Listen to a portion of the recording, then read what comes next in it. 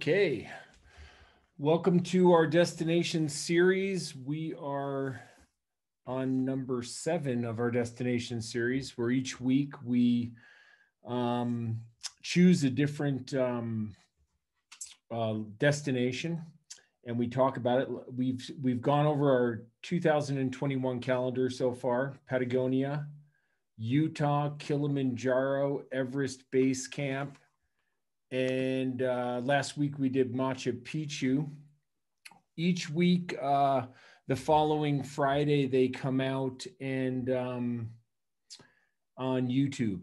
So you can watch them on YouTube the following uh, week. Yesterday, Machu Picchu came out. And today we're going to talk about the Alps. So, as usual, what I'll do is share my screen here we're going to do our our uh, Alps trip. Matterhorn to the Mont Blanc is what we're calling it. For a number of years, we have done the Tour de Mont Blanc, and we still do. Um, and we switched and uh, built a brand new trip. This kind of a bespoke trip that we designed that uh, showcases and highlights some of the alpine villages as well. And I felt that with our guests, one of the things that we were realizing is that we weren't being able to spend enough time in the small alpine villages in Switzerland, Italy, and France, where this trip takes place. So uh, we wanted to um, switch it up a little bit, and we designed a trip that uh, I'll go through here, and um, does uh, give us all evenings in those alpine villages. So it's really nice. Uh, what you do is you're going to fly over to Geneva, Switzerland here with the big red X. And you land in Geneva, Switzerland. And we start from there and uh, we either pick you up at the airport. Some people decide to fly in uh, a day or so early and do a little extension on the front end. And we have extensions on the final of the trip as well. So we'll go over both of those. And then we're going to spend our time in Switzerland, Italy, and finish in France. Um, the first night we're going to start in Geneva, Switzerland. And I see that he's on the line. I want to welcome our special guest this week, Cess Guerra. Hi, Cess. Hi, Dean. How's it going? Laura's here with me. Oh, hi, Laura. Hi, Dean. Hi, Dean. How are you doing? well, your picture's on the screen here, and uh, thanks for joining us. Cess and Laura are good friends, and like many of our guests, they have been on multiple trips, and we spent have spent so much time together on different adventures. And uh, you guys are from Houston, Texas, so thanks for for joining us remotely here. Of course, got, definitely. We got to meet. Uh, I, I believe is 2009 on Kilimanjaro. Is that right? 2010. 2010. Okay, so t- 2010. Here they are on the top of Kilimanjaro, and here they are some somewhere in the Alps. I think that one was just last year. Yeah, yeah, yeah. 2019. Machu Picchu, Utah, Everest Base Camp, sailing, and then uh, Kilimanjaro, and then last year or or so we were in the Alps. Yeah, at this pace, all we have to do is hit Antarctica and Australia, and we've hit all seven continents with you, Dean. Awesome. Well, I'm looking forward to it. It's it's great to have you guys, as always, on every trip. And uh, I'm going to go through a presentation, and then as I do, I'll have you guys interject on your experiences that we shared. Okay. I put a lot um, of pictures yeah, of you Laura, guys in Laura here. may need to bug out. She's got to get to the airport, but uh, she'll be here as long as she can hang in there. Excellent. Well, here we are last year in the uh, in the beautiful Alps, and there's you guys taking lunch, I believe, in Zermatt. You know, oftentimes people want to know what the best time of year for us in the Alps, June, July, August, September is prime time for this trip. Uh, the summer months, uh, we can go into the beginning of October, but we do run into uh, chance of a early season snowfall. So we try to avoid that and hit the, you know, the uh, the nice times of year. And people think about the Alps as being crowded. And again, on all of our trips, we're going to really spend times out in the mountains hiking far from the crowded trails, the most popular areas. And uh, this is a picture of the Chamonix Valley. And um, on this trip, you can see these cables here running up to the mountain. It's typical on this trip that we're going to use lift assisted uh, hiking to get us up to this higher alpine terrain so we can explore the high alpine above the tree line a lot of times. Sometimes we hike through the trees, but uh, a lot of the times we'll use a series of lift depending depending on the day. The early arrival extension that we do for this uh, is really nice. Where when you arrive in Geneva, Switzerland, we help make the train arrangements for you to uh, just go on the train to St. Moritz. And um, you guys did this, right, Sess? Right. Uh, we flew into Zurich and then uh, transferred down to St. Moritz and then took the Orient, the, the Glacier Express across to um, Zermatt. And it's pretty amazing train, huh? Pretty amazing day. Uh, it, it's absolutely amazing. It's a, a, great experience. And um, uh, getting over the jet lag was is always important for us. So we like getting in early, and then getting a, a different vibe in St. Moritz was really cool. So, so then what we do is uh, the Glacier Express train is this full day. I think it's six hours uh, train ride that they serve lunch on. There's a few different cabin classes. Um, definitely want to book this early, so we help do that because it does fill up and it just slowly meanders past all the glaciers and through Switzerland and and right on into Zermatt where we meet you at the airport. Um, one of the things I noted at, at on the train station at the right at the uh, train station. That's right. Sorry. Um, Zermatt is uh, accessed only by the train, and there's no motorized vehicles in this village. So it's just a classic uh, um, Swiss Alpine village. And we start our trip there.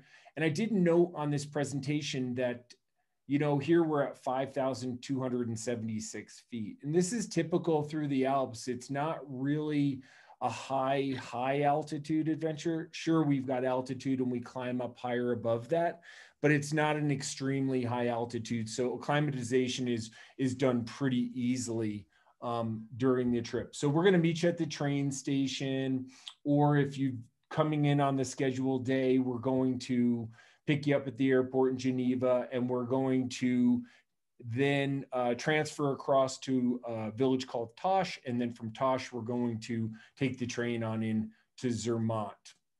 So um, it's typical on all of our adventures that uh, this one is hotel based. So we're not staying in mountain huts. We're staying in beautiful uh, four star European accommodations throughout, and the hotels are great. Wouldn't you agree, Sess?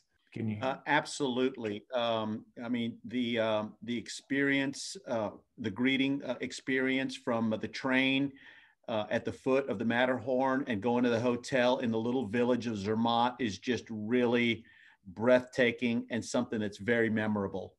I'd say that one of the things that we tried to do for this trip is pick hotels that are right in the heart of all these alpine villages that we're going to go through. And it gives people the chance. Of course, we have a lot of things that we're doing, but there's a t- lot of free time for you to explore, shop around, look around, and just take in the culture in the different areas. Um, here's one of the restaurants that we go to as well. We've hand selected all these different restaurants that we'll dine at throughout our journey. Um, this one being in in uh, Zermatt. So this is what they call a funicular. So a funicular is a train that goes right up through the mountain um, in Zermatt. This goes up through the, the mountainside and pops out on that high alpine area. So it pops out. We'll, we'll take the funicular up. Sometimes we'll do a funicular to a gondola. And then at the top of the gondola we'll be high above. You can see the Matterhorn in the back uh, around here. And uh, here's a picture of Sess and I actually hiking on the Five Lakes Trail. Amazing day, huh? Oh, unbelievable. Um, and it, I think it's the first time that Laura and I had uh, had done something like that where we we took the funicular up and then started the the hiking a part of the the day uh, on the high alpine, and that was that was pretty nice. Yeah, it, it just kind of gets gets us to the great hiking terrain. On this one, we pack a lunch. Uh, we hike past five different alpine lakes and just wind through all these amazing views of the Matterhorn and Mount Rosa. We're high above Zermatt. You can see the clouds down below us. Just a fantastic day. Then at the end, we're going to take the funicular back down, gondola back down, funicular back down, and then have the early evening before dinner to explore uh, Zermatt and see the Alpine Museum, or there's plenty of shops and things to see and explore around this town. So we're going to spend the second night in the hotel there. So two nights in Zermatt. The arrival night, we'll always have an orientation brief, go over all the details of the trip. We have our hiking day, come down, we'll go out to dinner that evening. Um, then the following day, we're going to uh, take the train out of Zermatt down to our vehicles that are at the small village below. And it is nice, you can see in this picture in the upper right, a rolling suitcase, a rolling duffel bag, and a small backpack is all you really need on this trip. If you do need to do some laundry or something, that's easily done because we're in hotels every night. We'll transfer the the drives are all an hour, an hour and a half, maybe really reasonable. We're in a kind of a tight vicinity throughout, and we go to the Col de Forclaz here. We start our, our hike through from the Col de Forclaz. Um, you can see on this day, we're coming into this hut along the way. I think we had packed a lunch this day, and um, we, which we do a lot. And then we'll probably come into the uh, the hut on this day and have a coffee and take a break, maybe a spritzer juice or something like that, and make our way to this small village here called Champex Lake. And um, yeah, that was well, that was one of the best picnics ever, Dean. Uh, just sitting sitting on the alpine meadow, having a picnic lunch was just uh, incredible. That was like the sound of music yeah, it is absolutely just breathtaking uh, in this photo here. We're, we're looking down at Martigny at the start of our hike, Martigny, Switzerland. These huge alpine meadows and just beautiful terrain. Then we start to come into this Champex Lake Village with all these little cuckoo clock Swiss type uh, mountain huts, and and uh, it's just fantastic. It's a great, another great hike. And um, after we get to Champex Lake, we uh, do a short drive, less than an hour to Verbier, Switzerland. And uh, we pull up into Verbier, Switzerland and spend the evening there. Of course, that's a pretty good hike that we took that day, eight, nine miles and uh, hilly terrain, but we're not at extremely high altitude. And by the time we get to Verbier, we really just settle into our hotel, have dinner at the hotel, and uh, rest and relax for the following day. You can see in the upper right picture uh, the hike we do the following day. Uh, Verbier is about 5,000 feet. So again, not terribly high. You can see Verbier in the lower left-hand uh, corner of the screen. And we're gonna take a gondola out of town here where my, where my little pointer is up to the uh, kind of upper right here, you can see the top of the gondola over here. And then we take this trail that just winds across. You can see Sess and actually Laura here and Sess hiking across um, about five plus miles over to the main part of the wintertime ski resort. And then when we get to the wintertime ski resort, we've had a great hike for the morning and then we take a gondola to a chairlift and then two of these aerial tramways all the way to the top of what they call the Mont Fort. And um, it's stunning up there. Wouldn't you guys agree? I mean, uh, un- unbelievable. Um, yeah, just some fantastic panoramic views. Uh, uh, just uh, uh, just a, a great memory for us to be up there. The um, top of the Mont Fort is the hut on the right hand side. And uh, there's a big observation platform you can see here on the left. And if we look out in the far corner here, uh, where my pointer is, that's the Mont Blanc in France. And then off the other side, we're looking at the Matterhorn over here. So we've got all of the Alps that we're looking from this direction and this observation platform. I don't even know where we ate our picnic this day, but somewhere along the way. And it was uh, there. It was there, Dean, right there at the uh, right hut. on on the top. Okay, so we we ate up top, and yep. then uh, we descend back down the aerial tramways, back down the gondolas to a different gondola that takes us right back to the heart of Verbier town, where we pick up our vehicle.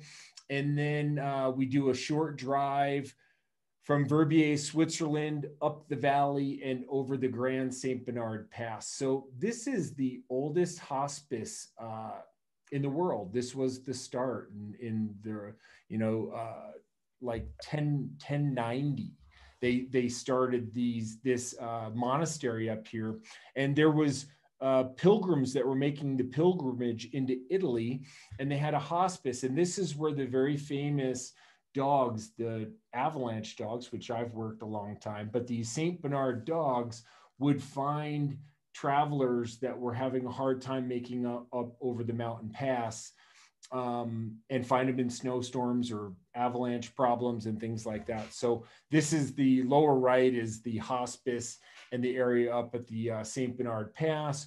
We go take a little bit of a tour and look around in there, and then we drop on into Italy from Switzerland. We drop all the way down to Aosta, Italy, which is uh, the Aosta Valley. The Aosta Valley is uh, uh has a lot of Roman um, history to it and we stay again right in the heart of Aosta, and we're we're just about 2,000 feet. So again, the altitude is no problem. We had we did a, a, a tour one of the one of the days here of the Roman ruins and the old city that's buried underneath of the new city. Um, go out to dinner, and one of the things that's really nice in in this part of the journey is these are areas that are less frequently visited by Americans. So we're really just in the uh, European culture, which is really nice. Spend the evening, and then the next day we do a short drive up to Cogne, Italy. So another amazing alpine town. You don't even know it's there, huh? Yeah, yeah. Uh, it's uh, very quaint, um, totally walkable uh, really nice, and uh, it's a nice uh, little uh, stroll over to the gondola up for the hike. Yeah, so if you see my pointer right here, that's the lower uh, station to the gondola that goes up this cut through the forest, drops us out on top, and then we do this amazing hike up around this upper ridge line and uh, we've done it a few different ways. You can hike back into town, you can come back around, take the gondola back down. But we're looking now at the Gran Paradiso National Park. It's the oldest national park in Italy, in all of Italy. And uh, Gran Paradiso Mountain, all the glaciers. We come back down, we, we visit a number of waterfalls. I think they, you know, uh, the, the town often has a lot of things going on in the middle of town you can see Laura on the summit of our peak there in the low part of the screen and, and just a fantastic uh, day up there outside of Cogne. And, um, you know, wherever we do these hikes, there's oftentimes these alpine huts that are associated where where we are we'll, we'll either take lunch or we'll pack a lunch if we pack a lunch we're basically going to the bakery to to get sandwiches, quiches, cakes, things like that. And uh, just really enjoy the outdoors. It is absolutely stunning. And uh, the summertime is an amazing time to do it. So after we come down from Cogne, we, uh, we've moved on now from Aosta. Uh, and after Cogne, we're going to get back in our vehicle, drive about an hour to Courmayeur, Italy. Courmayeur is on the uh, south side of the uh, Mont Blanc, and uh, which is the highest point in Western Europe. And um, Courmayeur is just in another amazing little um, alpine village right up there in the Italian Alps. And we'll uh, stay um, in a in a hotel right in right in the uh, cobblestone streets once once again. And then the next day we hike up to the Elisabetta hike, absolutely amazing. Another just amazing hike, huh? I mean, yeah, everyone is amazing. Everyone is uh, chock full of great views, vistas, and and um, you know, it's just it's an unforgettable trip for sure. so you can see us hiking here. We're going to wind our way up. We're going to make our way to the Elisabetta hike uh, or uh, refuge up in here. This hut um, is where we'll take our lunch. Um, we're, we're mixing it up each day. Sometimes we'll pack a picnic lunch. Sometimes we'll know that we're going up to a high hut and we're going to take lunch up at the high hut. Um, you can see our hotel here in the upper left, right on the edge of town. From town, the amazing views of the south, south side of the Mont Blanc. And um, yeah, just another great, you know, this this lower left corner is is another uh, great lunch in a little hut up high in the Alps, and uh, really great food, uh, great atmosphere, great hiking. I mean, it all kind of comes together here on this on this trip, and uh, then the next day, what we're going to do is this is a, a, a, picture of the Mont Blanc and um, the highest point, 15,771 feet. Um, I've been able, I've been lucky to climb it to the top. I've skied it from the top. It's it's got a lot of adventures here. Um, what we're going to do is from the left side of my screen where my pointer is, we're going to leave Courmayeur, Italy. We're going to drive through the Mont Blanc tunnel that goes right through uh, the mountainside and into France. And we're going to pop out on the other side in Chamonix, France. And uh, Chamonix, again, uh, one of the high alpine villages over there, but only 3,300 feet above sea level. So, again, we're, we're really comfortable acclimatization wise and uh, that helps us be able to hike more. It helps us to be able to hike longer, maybe do uh, more mountainous terrain because we're not struggling with high, high altitude. Higher altitude on our hikes, about 8,000 feet, 9,000 feet. Um, so that's really nice.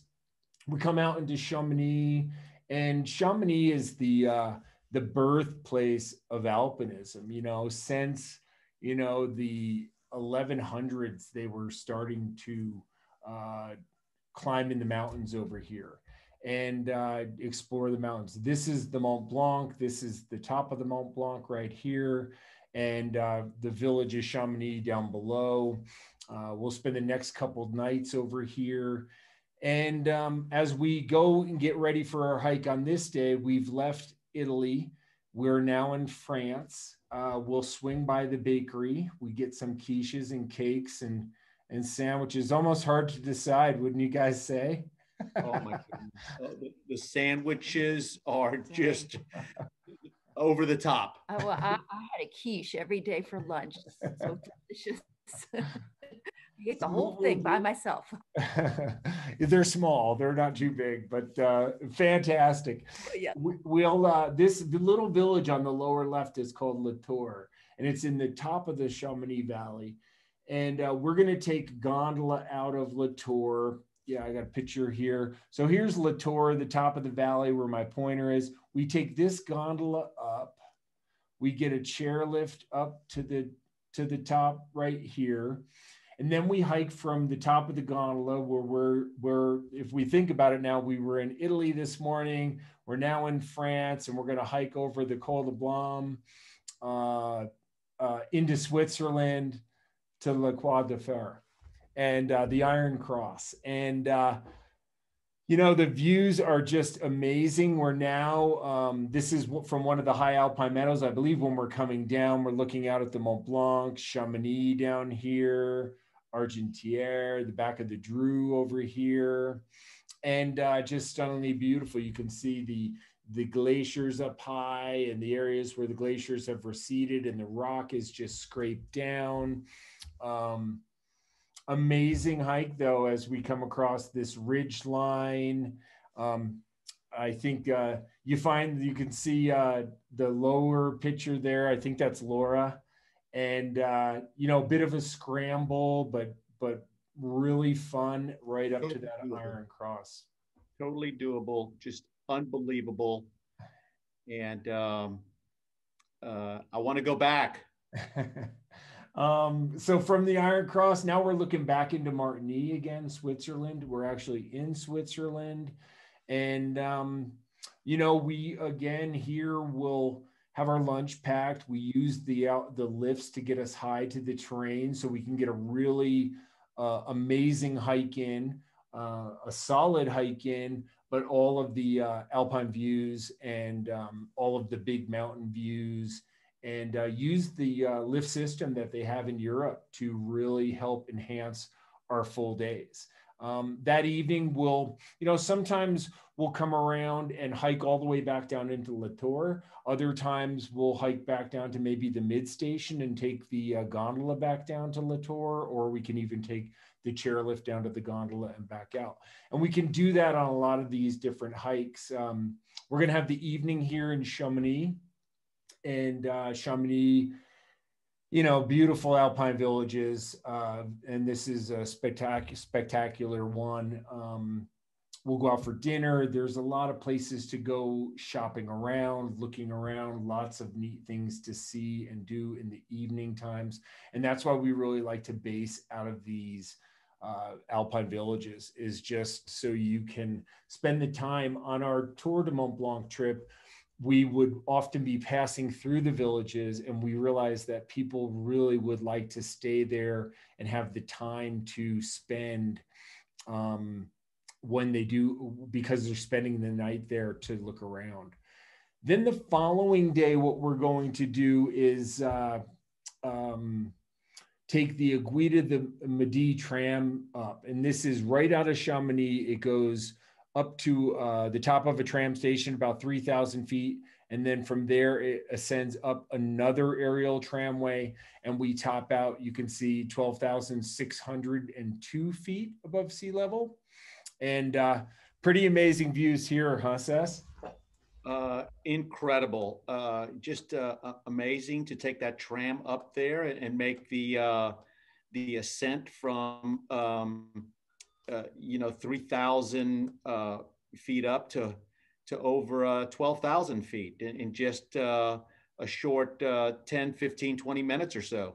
Yeah, and, and like an engineering marvel. these pictures really Incredible. don't do it justice, but there is a number of, there's a glacier museum up there inside the mountain. Um, there's a number of different tunnels through the mountain. They go to different observation platforms. Lower left, you're looking up at the amazing views of the Mont Blanc. Right to the south, you're looking into Italy and what would be uh, down into where Courmayeur would be, a little over the over the way uh, side.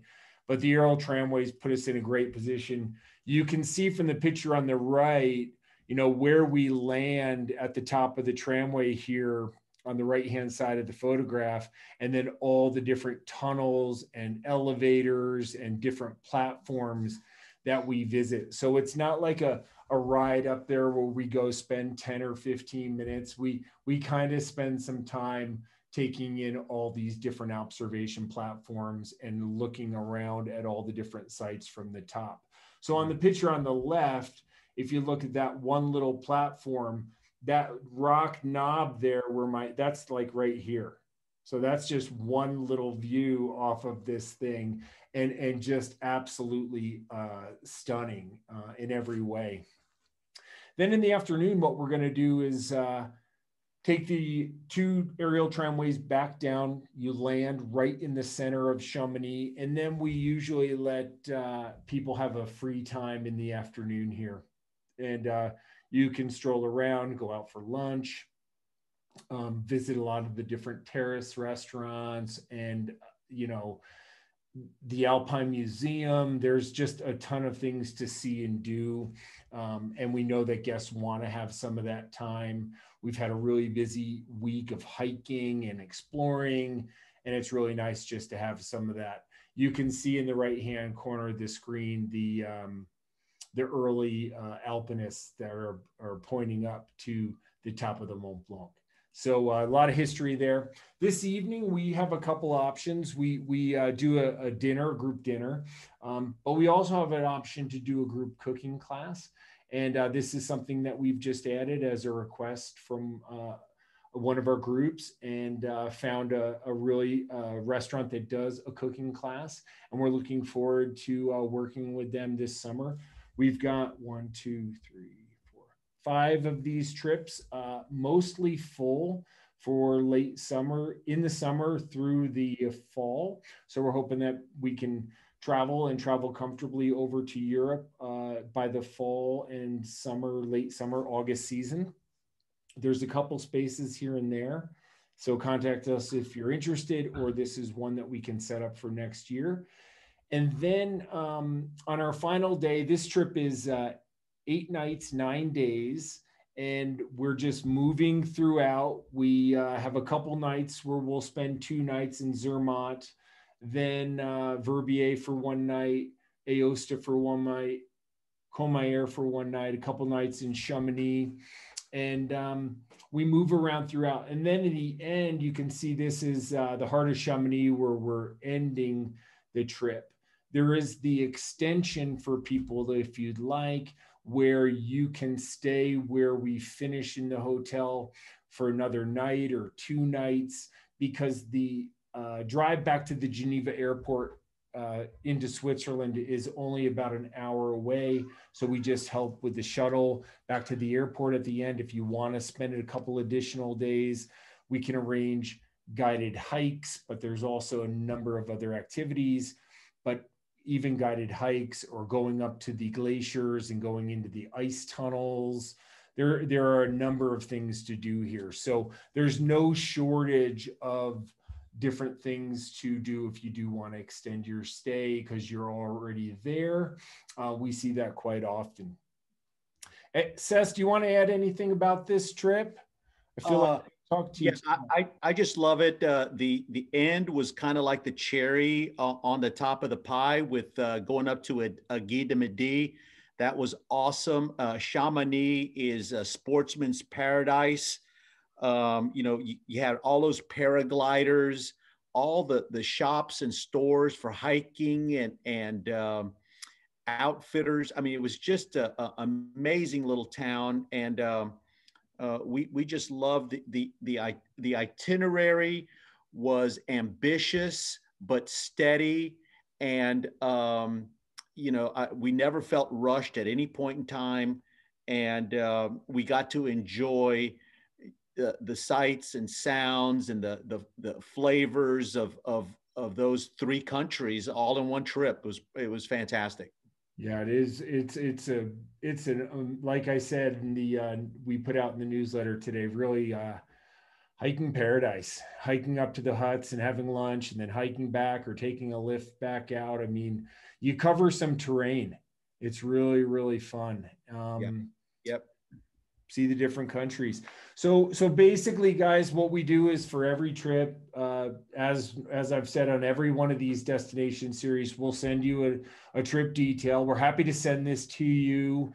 Even if you're not signing on, it's just got a lot of information. It's no secrets that we need to keep. Um, we'll always uh, have our gear list and be available for consulting as you decide on all the things you want to do, or maybe come in early uh, maybe you want to spend two nights prior to the trip in St. Moritz and and two nights after in Chamonix, or just do the basic trip, the main part of the trip. Um, we'll make sure that you got all the gear that you need. Uh, it is an alpine environment, and as we ascend, even though we're not at extremely high altitudes, you definitely need the shells and the and the fleeces and and and light layers so you're comfortable when we go into the mountains. Um, we have our nutrition and our training manual. As always, uh, we want people to prepare for their trips and be comfortable when they arrive. I should have a, a, a number of uh, videos on our YouTube channel from uh, from the Alps, and uh, if you go on to the video or even playlists, probably uh, has the features of different all the different days of a number of the different trips over there and things like that. But uh, a lot of good videos to check out and uh, it really does have something for everyone. I think the culture, the countries, the cuisine, the uh, the hikes. We've really hand selected hikes that um, over the years I've really got to enjoy guiding guests for you know a very long time and to be able to know what's going to really appeal to them is something i take great pride in and uh, we definitely put this one together with our guests in mind and being able to share the Alps and these three countries uh, with them. So it's fantastic. And like I said, we're hotel based. So every night we're right in the heart of one of those villages. We're right out the door. You can explore. And um, I do want to uh, take some questions here. And um, I just uh, I'll take some questions. I know Seth, you're getting ready now. We we put it, another trip since you worked us out of the uh, calendar. We put a Utah bike trip together for you for uh, this September. So just wanted to mention that. Yeah, and, and that that's what uh, always amazes me, Dean, uh, from the outset when when we met uh, in 2010 for Kilimanjaro and did the Machu Picchu and, and all the various trips is that um, while there is uh, a set itinerary, we, we always have uh, flexibility. And so when I started talking about the bike tour or biking and, and so we put it together, we made it happen. And, and Utah, of course, is a fantastic place to do that. And, and I'm inviting all my friends and, and hopefully um, I can give uh, some of my friends, expose some of my friends to worldwide trekking and, and the first class service that you provide for your clients and uh, and not to stop in Utah, but uh, to to travel the world. Thank you. Yeah, it's fun, and and we do uh, in the Alps is another great example. You know, for with six people with families, we can we can offer this trip. My my schedule gets a little booked up. I'm going to see if there's any questions. Doesn't look like I have any questions right now, so we must have hit it pretty good.